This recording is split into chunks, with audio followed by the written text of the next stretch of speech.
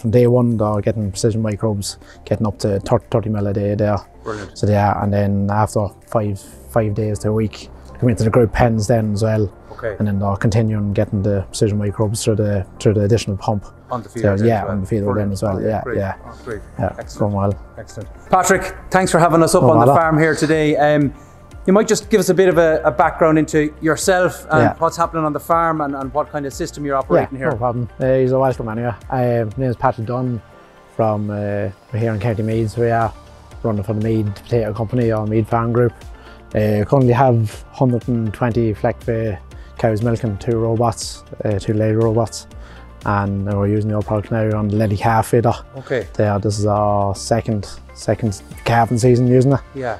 So and where did you where did you come across the precision Uh, microbes through, originally? through, through, through veterinary practice, uh, O'Dowd's veterinary. Okay, Yeah, so RD, yeah, yeah, they advise us going forward. We should be using it like in popular products, like so.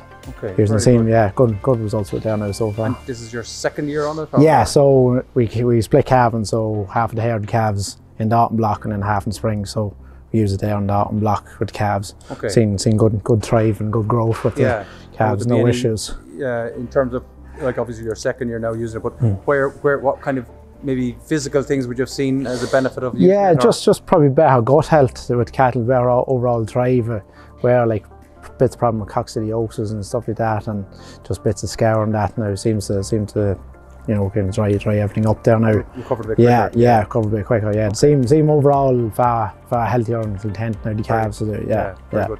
And and the calves then on the farm are, are they used as replacements or do you Yeah. beef them or what's the Yeah, so there? last season we beefed beefed a lot of bulls, and then we keep probably the best ten or so for stock bulls for sale, Right. and then keep all um, replacement heifers and put them in calves. So probably have a surplus of heifer calves now coming on this year, so they'll be for sale then or in calf heifers either. Yeah, yeah. So yeah, yeah. and what kind of um like they're a, they're a nice shapy animal, the Fleckvieh. Or, or Yeah, in yeah, terms of that- beef, you know, those ones that you beef, would they come into good grades? Yeah, or yeah, yeah. Kill, kinda- killed out uh, all three, three equals so it. Yeah, so Right. like the fleshed up well. They have Yeah. to run feed.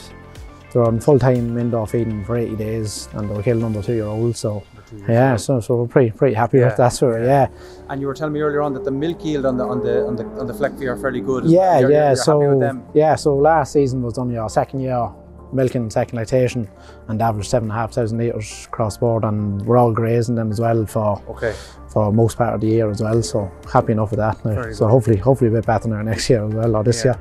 Brilliant. So, yeah. Brilliant. Oh no, geez, No. they're, they're. They're a credit to No, we had sucklers and then we um, had beef then as well. Okay. So when we were going milking, we like to look at the Fleckvieh then a bit better, a bit bit more what we're used to looking at.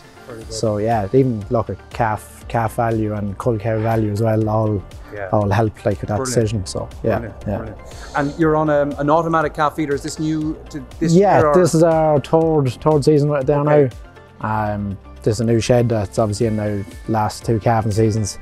But um, yeah, the calves I brought him day old into individual calf crates. right. and they're there for a few days. And from day one, they're getting precision microbes, getting up to 30, 30 mil a day there. Brilliant. So they are, and then after five five days to a week, come into the group pens then as well, Okay. and then they're continuing getting the precision microbes through the through the additional pump. on the field. So, yeah, well. on the field then as well, Oh, yeah, great. yeah. Oh, great. Yeah, oh, Excellent. going well. Excellent. Good stuff. Well, listen, look, thanks a million for having us Yeah, up today. pleasure, no And problem. listen, thanks, thanks for sharing your Yeah, story yeah, no problem. and continued success. Cheers, thanks a million. Okay. Good luck.